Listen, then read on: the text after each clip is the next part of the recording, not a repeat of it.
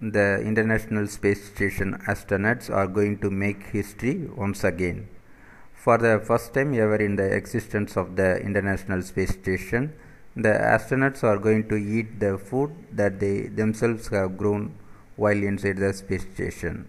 The historic event on the ISS will take place today, that is on August 10, 2015. United States astronaut Scott Kelly tweeted about the menu on Monday. The astronauts will clean the leafy greens with the citric acid based food safe sanitizing wipes before consuming them. NASA says it's more than just a gardening experiment. It is also a critical step on the path to living on Mars.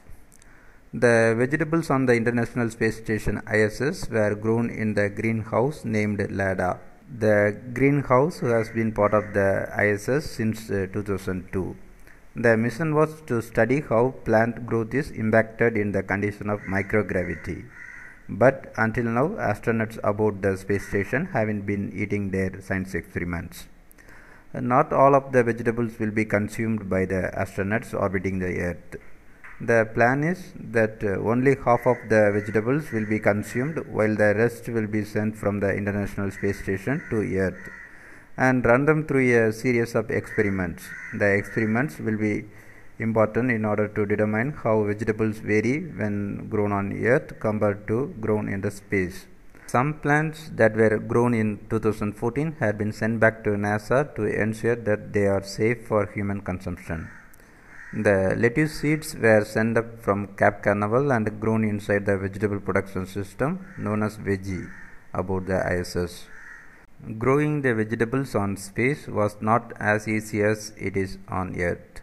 Astronaut Scott Kelly planted lettuce in early July and harvested the crop a month later.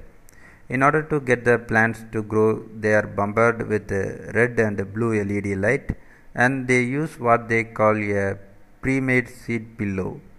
The collapsible and expandable veggie unit features a flat panel light bank that includes red, blue and green LEDs for plant growth and crew observation.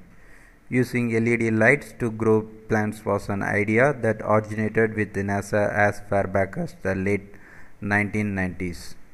The purple pinkish hue surrounding the plants in veggie is the result of a combination of the red and blue lights, which by design emit more light than green LEDs. Green LEDs were added so the plants look like edible food rather than weird purple plant. Fresh foods such as tomatoes, blueberries, and red lettuce are a good source of antioxidants.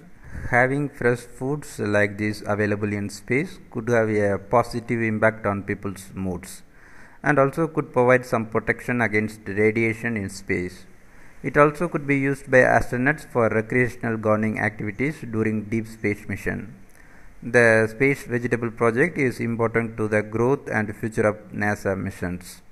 According to NASA, prepackaged food only lasts for a maximum of 3 years. If food can be grown while on the mission, then the astronauts can become self sufficient in regards to their food.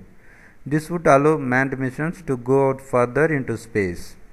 NASA also thinks that it is a nice way for the astronauts to always have part of the Earth with them, no matter where they are in the cosmos.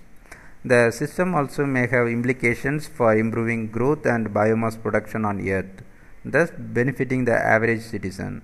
Many of the lessons NASA is learning with Veggie could be applied in urban plant factories and other agriculture settings where light is provided by electrical light and water conservation is practiced.